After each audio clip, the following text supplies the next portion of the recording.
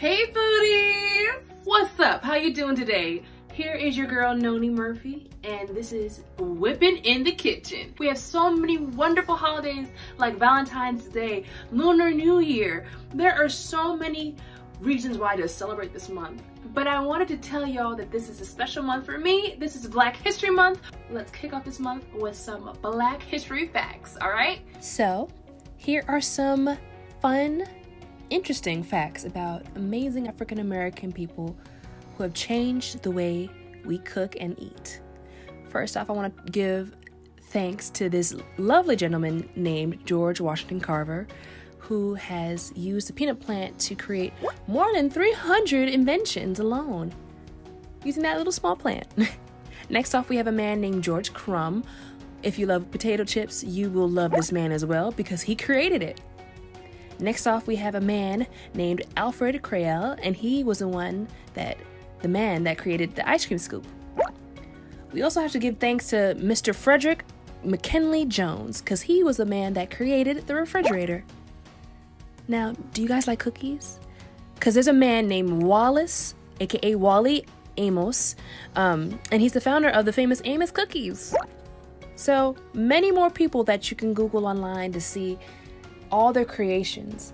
But we want to celebrate these men for their, first of all, their genius to help improve our lives as we cook and as we eat our food.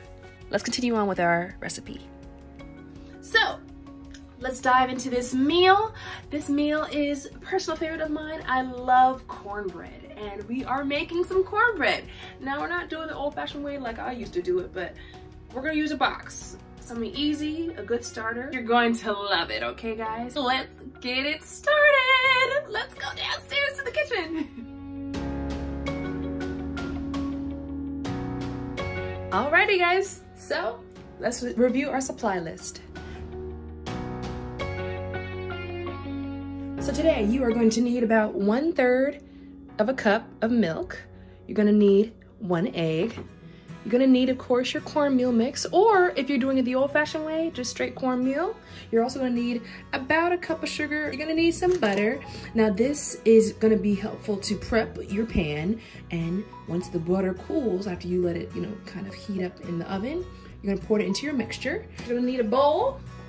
This one is special. I'm using this for Black History Month because this is my grandmother's and it's been passed down from generation to generation, you know, all about that culture. And last but not least, you're gonna need a spoon. So let's get this party started. I'm going to turn our oven on for 400 degrees.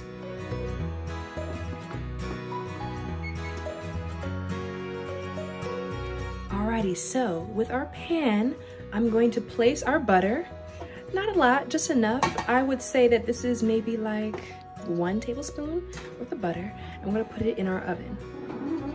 Now we're gonna head over to our mixing bowl and we're gonna get started with adding in our ingredients and start whipping them up. We're gonna plop in our cornmeal.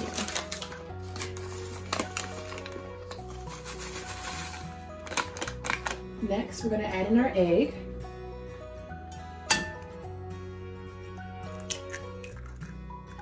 And then we're gonna add in our lovely milk and we're gonna get started stirring. We're not gonna add in the sugar just yet. We wanna make sure that everything is kind of grinded down because cornmeal is kind of lumpy and you wanna try to avoid the major lumps and bumps. So we're gonna get started with this first. And same trick that we usually use when we're stirring up batter, you kind of rub on the edges so you can get all the lumps out. Alrighty, so as you can see, most of the major lumps are not there anymore. And that's why it's best to kind of scrape along the edges so you can get any bumps out. Now that's just the clumps of the cornmeal. You wanna try to make it as smooth as possible. It won't be perfect, but you can definitely be close.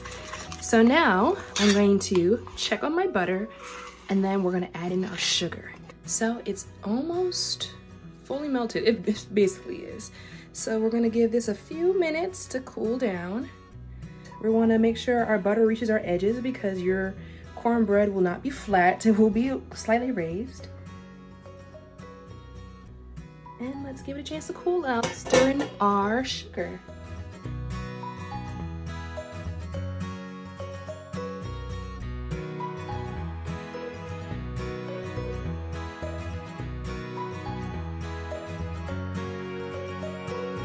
Alrighty, so my butter has now cooled.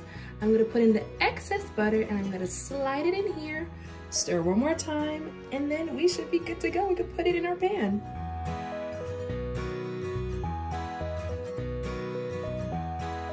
Alrighty, so my oven has just rang, so it's ready to go. I'm gonna plop it in the oven, and I believe the cooking time is about 25 to 30 minutes. So I'll come back in 30.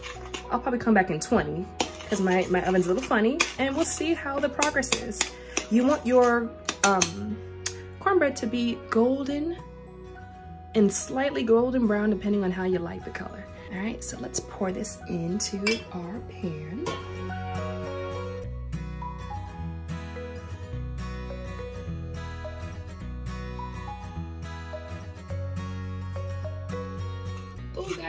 Excited. I'm sorry, I'm so focused. I'm like trying to make sure I don't drop this bowl into the pan.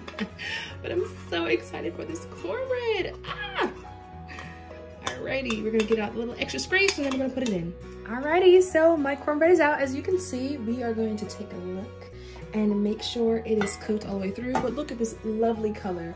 Now, like I said, it's up to you. People like their cornbread a little lighter, people like their cornbread a little darker, but I think this is a nice, lovely color for our cornbread. And I'm gonna take a toothpick and I'm gonna get a little close and I'm gonna stab it and see if it's fully cooked all the way through.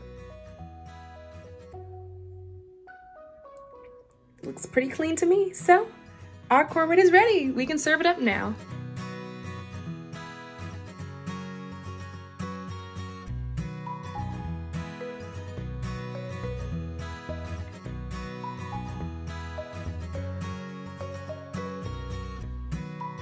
Look at that beautiful piece of cornbread. All right, I'm about to take a bite. Now you can have this with breakfast, lunch, dinner, or dessert. It's really up to you. Cornbread is so universal and I can speak for this personally. I love having cornbread, especially with a nice hot meal of black-eyed peas, maybe even fried chicken or fried pork chop. It is delicious. It's a, it's a true staple. It's soft, it's the right consistency, it's not lumpy. and it's so good. All right, I'm gonna devour this off camera. so let's finish up this episode. So I hope you enjoyed those wonderful facts. You didn't know some of those, didn't you? Ah, you learned something new. You know, we are all amazing human beings and this is just another month to commemorate, to understand, and to acknowledge these great creations from these wonderful black women and men. So we thank you. I thank you so much for watching and I can't wait to see you until next week, all right? Toodaloo, bye guys.